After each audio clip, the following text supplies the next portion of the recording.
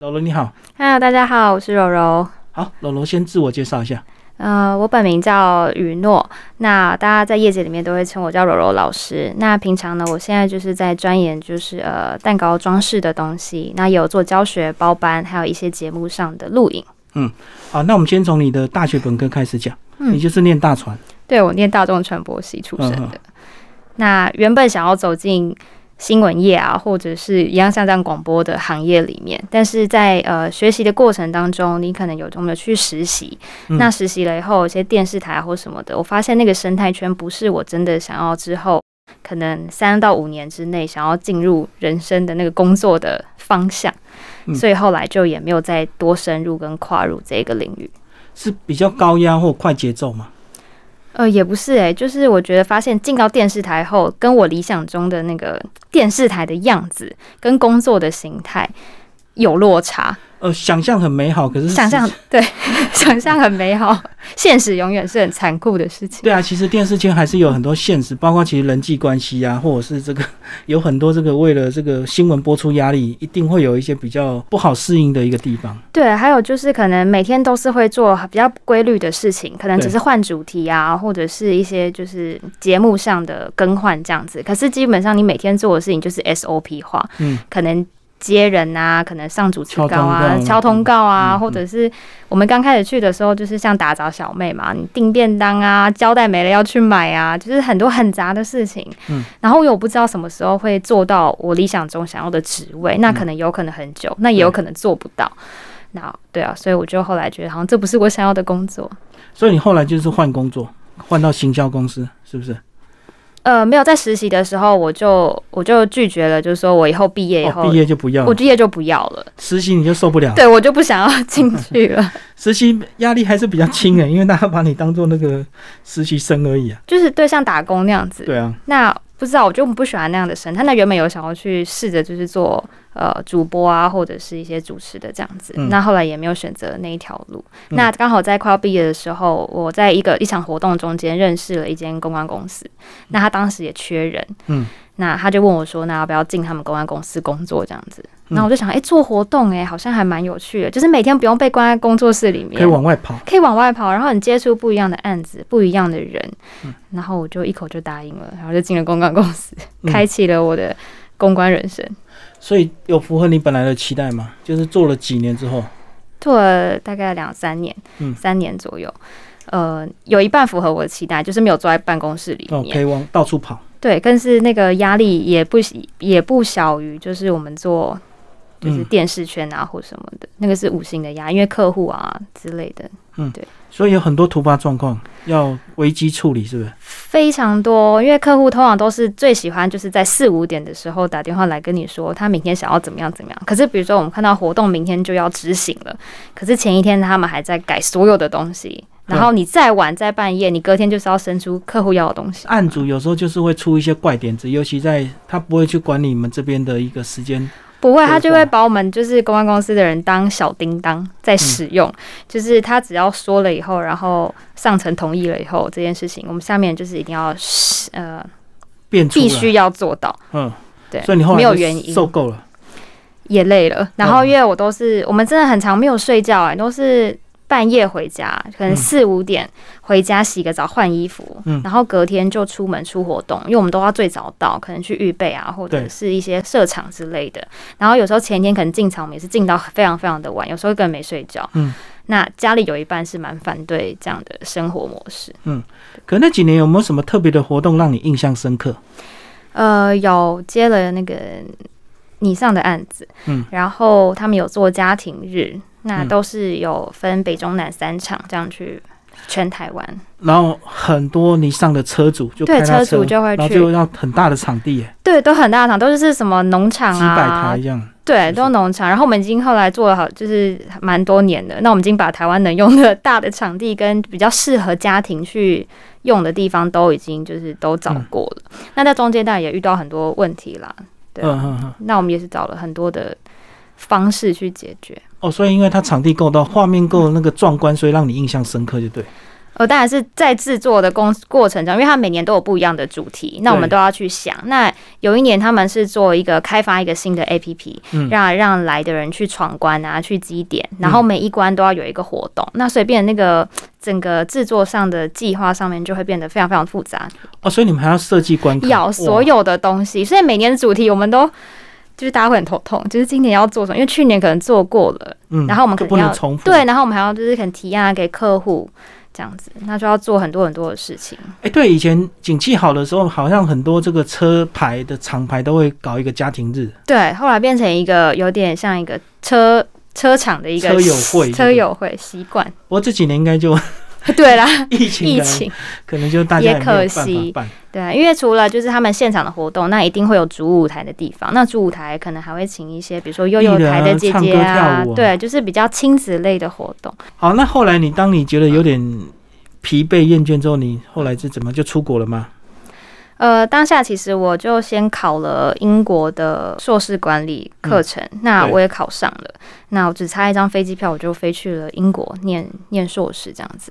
但是那时候刚好遇到恐攻，嗯嗯嗯，对，然后家里不让去，家里又还是你这样，自己也不想。家里就不让我去，因为我是家里面独生女。嗯嗯，那我妈也害怕了，所以我就暂时也没有去。然后那时候就想说，诶，那我之前有学过蛋糕装饰的东西，那我是在国中的时候因缘际会下一个活动，然后我去参加，然后那个老师就是在教奶油啊装饰。那时候台湾还不流行翻糖。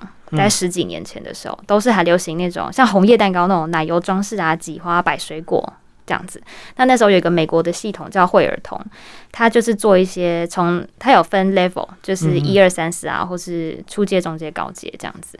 然后是一个活动，我认识的那个老师，然后我就去学了。学了以后，老师跟我妈说：“你女儿好像蛮有天分在这一块，那你要不要让她继续学？”那时候我妈就想说：“诶，暑暑假没事，嗯，然后就让我继续学，就我就把所有的课程都学完，学到最后的时候，我在要上国一以前，诶，国中对国中的时候，嗯。国一的时候，我就去了美国比赛，哦，那我有得了第一名回台湾，所以你国中密集的呃学了一些短期课程，后嗯来就意外比赛得奖，对不对？对，所以那个种子就留在就留在心。里，然后后来这个暂时不能出国之后，就想起的以前的兴趣，这样对，就想说，哎、这件事好像我还是还蛮喜欢，蛮擅长的。对，然后就也漂漂亮亮的感觉，好像可以捡回来做这样子。然后就那时候就就是慢慢慢慢开始做。那一开始也没有什么客源或什么的，但是后来我觉得有一半是因为有一半是我在公关公司认识了很多就是企业主。那我们嗯之前的我的老板也蛮。帮我的，嗯就是也会帮我推啊，或者是介绍给客户。那嗯。看了我的东西，就慢慢，所以有些大品牌，比如说你上啊，像现在的一期直播啊，嗯，还有一些艺人啊对，艺人或者是艺郎啊，嗯。就是他们私下有些就是派对啊活动、生日，大家都会就是来跟我做合作，那就是还有一些品牌啦，嗯，对。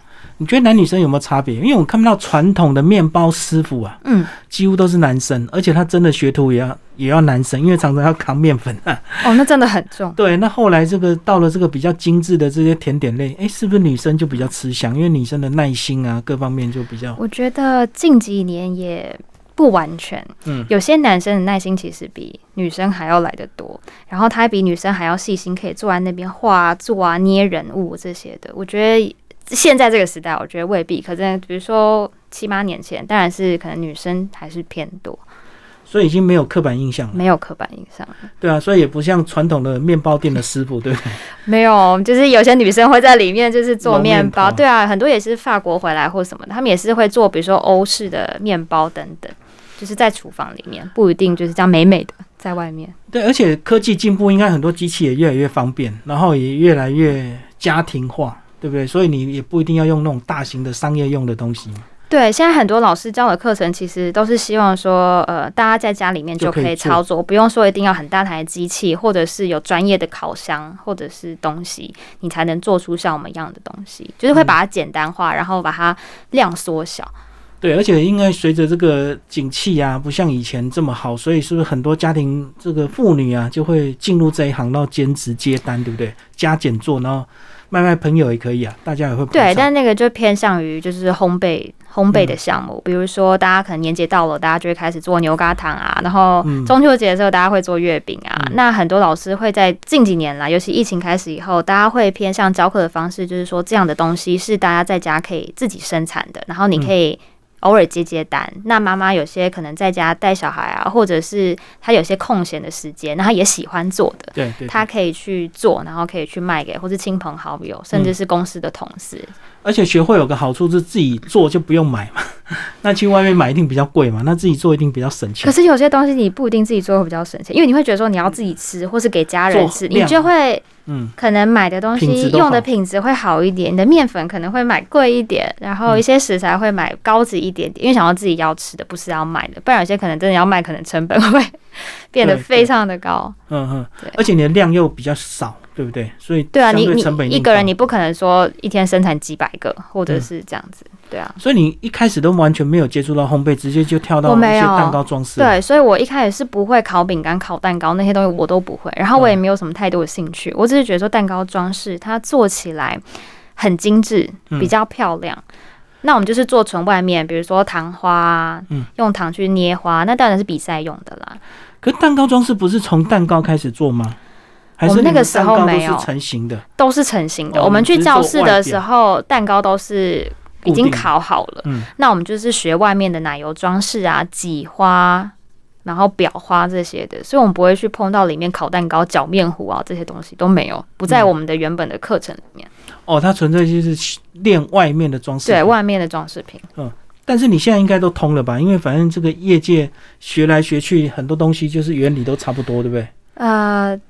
就是在我离职以后，然后我去了一个叫台湾的中华谷类研究所。那、嗯，那它里面有专业的课程，就是有三十二周的蛋糕专修班，跟十二周的面包专修班它就是那种职业训练班。职业训练班。嗯那它是教非常非常基础的东西，是比如说面粉什么牌子，或是它的特性啊，怎么去使用，然后还有一些就是最基本的所有的蛋糕的制作。那它也有做月饼什么，它每一周都有主题跟东西。嗯，那那时候我想说，既然要做装饰，那大家。学生偶尔一定会问到说，那里面蛋糕怎么做？一些原理啊，或什么的。那我觉得我这一块是非常不足的，所以我就也去把课程都上完了。所以基本上这些东西我都会做，只是我专精的部分到现在我就是 focus 在蛋糕装饰这一哇，十二周就等于是三个月的三个月全职班，就对了。全职班从早上八点到下午五点，没有停过，哦，啊，有没有领失业补助？没有，没有领，没有领很多。职业训练所都会有鼓励你去上职业训练，嗯还给你补贴啦。对，没有没有，那个就是自己自付所以大部分人就是会学到这么专精，应该都是想创业，对不对？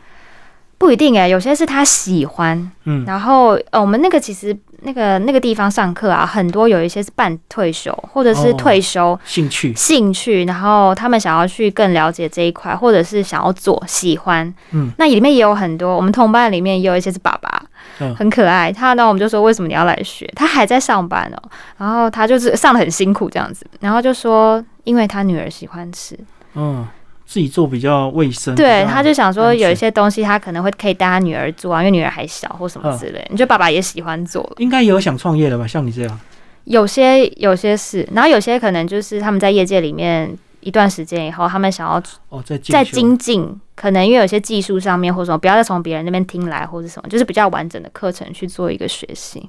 对，因为很多学徒制啦，所以他可能他听师傅说，他会做，可他可能不太知道那种标准。对，就是当你有一天如果你要自己研发一个东西的时候，你会不知道呃原物料的特性的时候，你没有办法去 A 加 B 加 C 去调整你要的比例，你就只能照原本你可能师傅给你的嗯。配方去做成最终的东西。好，那结训之后嘞，就是回就开始接案了就开始接案，然后就有一些包班啊，可能幼稚园啊，还有一些企业活动啊，然后或是一些厂商的发表会啊，车商的发表会，他们都要有甜品台，甚至是公关礼，比如说媒体记者他们来的时候要送的一些礼物啊、礼品这样，那我就会帮他们去做设计。那可能饼干上面我们就会有它的 logo，哦，就是刻制化，克制化的东西，还有一些精品品牌，比如说像宝格丽，他们之前我也接过，就是他们在金华嗯有开一间旗舰店。哎、所以你这样算是冲蛮快的，是因为你过去行销公司的一些好处跟经验，对？我觉得有帮助，接轨了。马上接轨。然后我很多的东西是我嗯缘分啦，我觉得有一半缘分。嗯，而且我觉得接企业厂应该它的价钱也比较好，对不对？不像那种接家庭的那种客制化的东西，有时候大家会斤斤计较那个价钱，一块凤梨酥几块钱这样嫌贵啊。对，因为我们都会比较克制化，所以它没有什么，就是如果我开的价钱你接受，我接受，那就成了。嗯那今天的克制化的东西本来就价钱比较高，对对啊。那如果客户不接受，就就就下次再见。就要找别人，但是别人能不能做到这样的程度就不对，那我就不就不我就所以你就要一直不停的累积自己的实力跟经验了。对，然后还有就是我也蛮感谢，就是所有的累积的品牌在我手上，那大家也蛮相信我的，这样嗯子、等于一直有成绩出来。一直有。那你后来是怎么样一直在进修？就说其实过去所学，它到了一个程度，一定就不太够用了。嗯所以是不是自己要随时去看别人，或者是怎么样？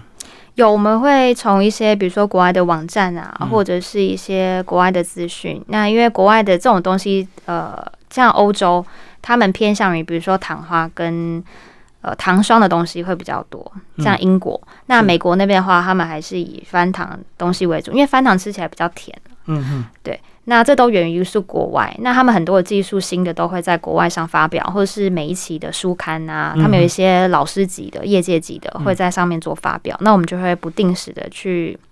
呃，看，那之前没有疫情的时候，我们都是会坐飞机票啦，可能去一对一上课，或者是哦包班这样子，就是几个比较好的老师，我们就会一起去包班去学。那个就比较高端的课程，对不对？对，那个课程我们曾经就是也去，我去过呃香港去找一个老师，他是专门做糖花的，那他真的还蛮有名，那他花做的非常的漂亮。那我就是去一对一的上课这样子，所以真的课蛮贵的，你必要的投资啊。我觉得是必要的。嗯就是有一些技术啊，我们就是还是需要去精进，看一下别人就是怎么去制作，还是要人家点破，对不对？有时候还是要，就是差一个，差一点点，可能就差那个临门一脚。或者是一个东西因为只能看外观嘛，那其实里面的细节还是需要人家讲的，嗯，就是对要上课。对，还是要他们有些专业的事，或者现在比较流行的东西，然后我们还是会去看一下。可是有我们做到一个程度以后，其实会自己大概知道说什么样的东西去搭什么，或者是怎样去变化，是你最顺手，或者是可以做到这样。然后因为这个东西还有一个麻烦，就是台湾的气候跟国外的气候不太一样。哦，所以他们的比例跟我们的比例不一样，对其实，到台湾以后，很多东西我们是要再做一点微调，或者是更改。是对啊，嗯去保存。还有比如说是呃，像糖花这种东西可能不会吃，就还好。但是翻糖蛋糕这种东西的话，我们比例就会再回台湾做调整，因为台湾的口味可能跟国外也不太一样。而且台湾现在比较不敢吃甜诶、对不对？对，可是这个在我们业界里面就会做甜点的人就会很讨厌被问到，就是说这东西甜不甜？或者是吃了会不会胖，就很讨厌。胖我倒觉得还好，是啊，但是大家最常问就是这东西甜不甜？嗯，对。那我们就是我们常我自己常会说，如果你吃甜点不甜，那你就是他爱吃又怕太甜。对啊，可是，在国外里面，像我们之前去法国的时候，甜点是真的非常甜。嗯，但是我们有做过一个理论啊来讲，像在法国的话，气候比较干燥，冬天也比较冷，所以他们吃的东西甜点比较甜，有一定的呃味觉上面，他们会觉得在冬天的时候你吃比较冷的东西，就是感觉会没有那么甜，嗯还有那个氛围。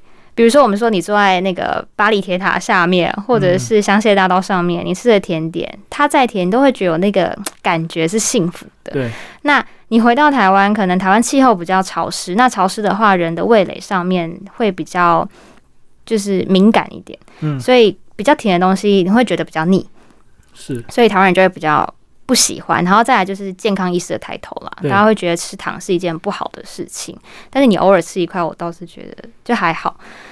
所以你没有做一些调整，有有有，回来会做调整，减糖一下。对，我还是会减糖。嗯，没办法，就是会用别的糖去代替，或者是日本有发明一个海藻糖啦，哦，替代的。替代的这样嗯，但它不能完全替代，它可能只能替换百分之的三十到四十，最多到五十嗯左右，不然它会失去一些口感啊，或者是打发的程度都会有影响。所以每个老师都有他的自己的生存之道，有些人可能就会调整，有些人可能坚持传统。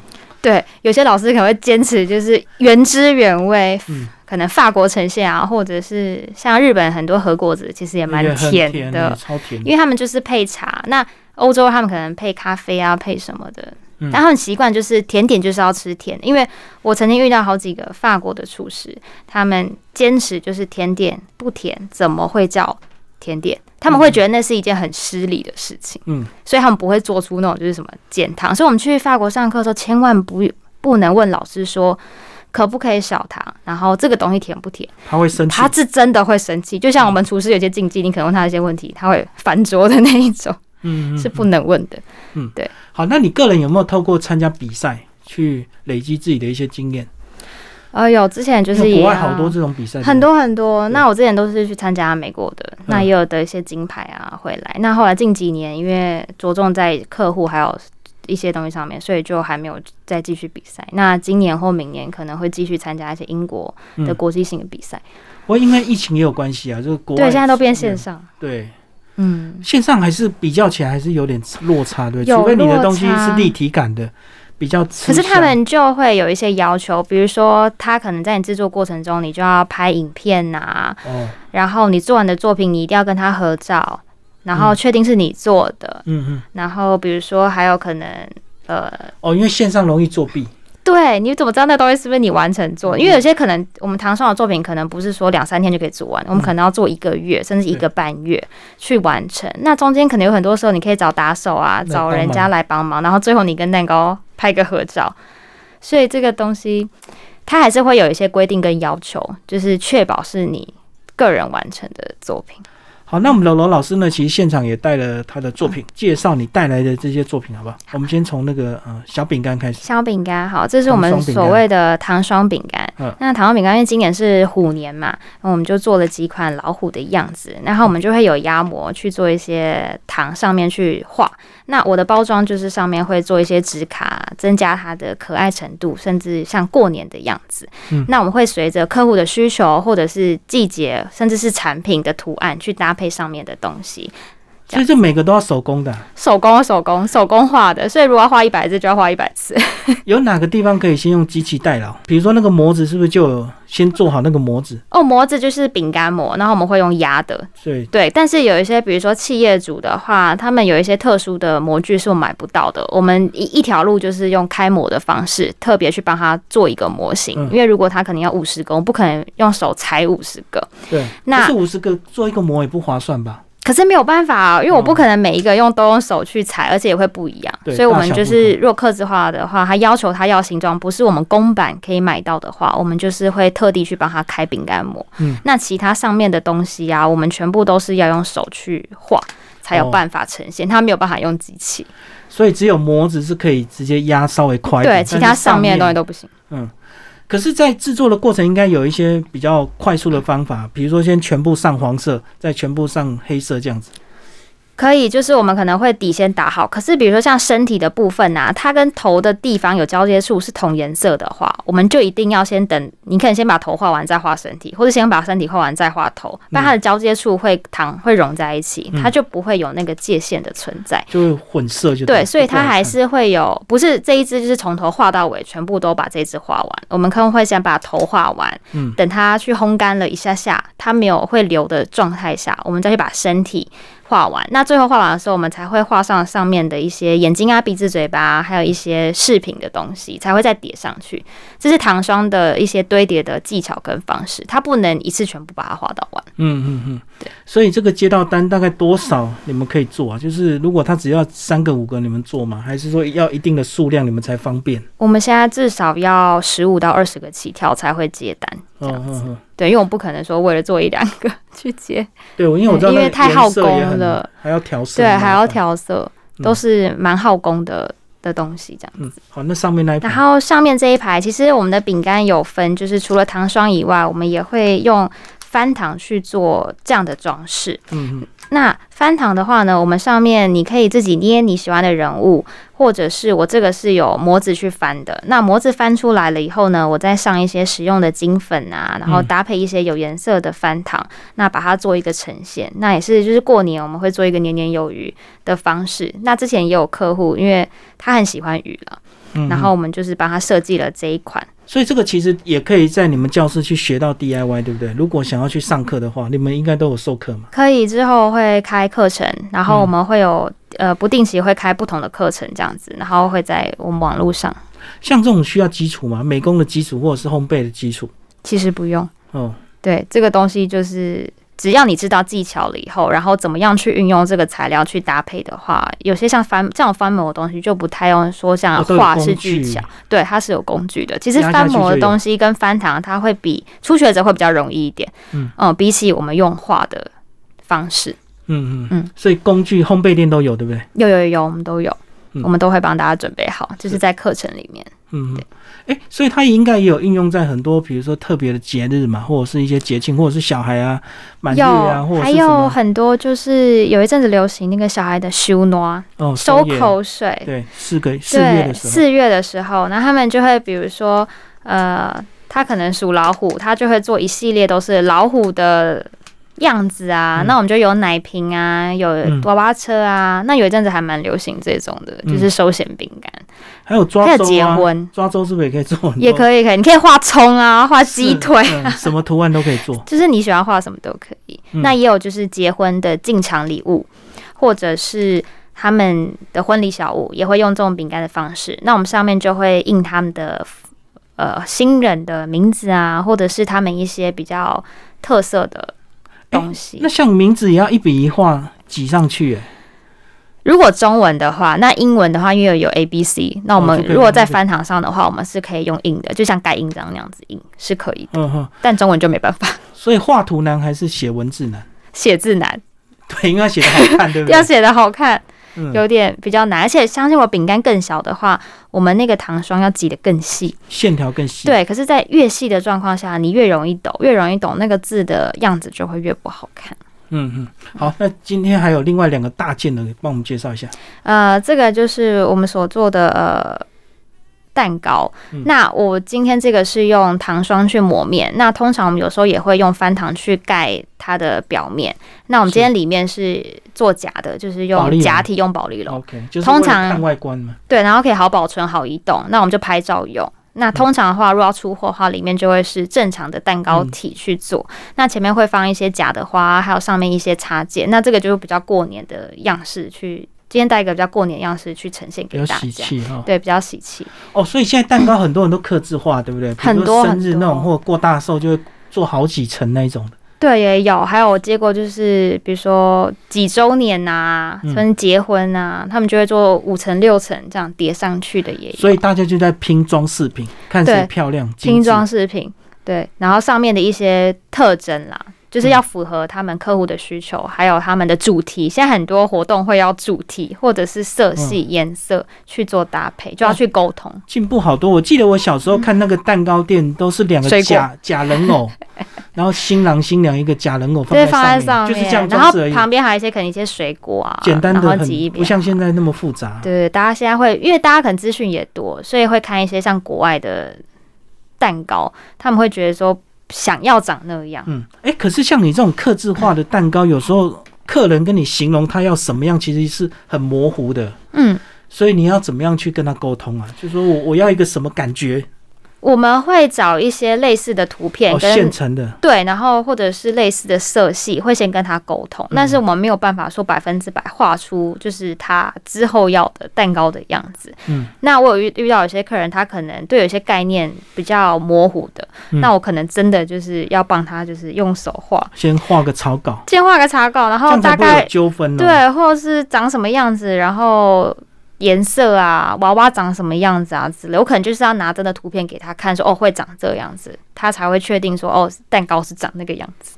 嗯，对啊，因为因为这个是个风潮，可是很多人他来买或刻字化的时候，他嘴巴讲出来的东西很难让人理解，对，因为有时候可能他脑子里面想象的画面跟他讲出来的东西。已经是有点落差，那可能在到我们理解的程度上面也会有落差，所以做出来的东西就会可能不是他理想中的那个样子。这种东西应该也蛮多消费纠纷，对不对？因为做出来不符合期待，就会吵。对，嗯，但是我目前客人都还蛮就还很蛮顺利，就对。对，还没有遇过什么样特别的纠纷，大家都还算满意。你有没有听过特别的理由啊？就是失那个离婚啊，或失恋，想要做个蛋糕自我庆祝 我有做过离婚的，哦，真的。还蛮妙的。